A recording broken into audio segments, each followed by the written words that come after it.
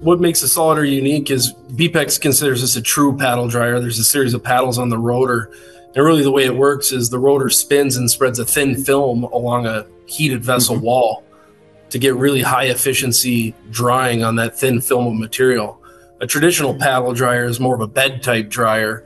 So you have a mass of material in the dryer and it's working down the length of the dryer in the bed. So longer residence times, lower efficiency, you're heating up a bed.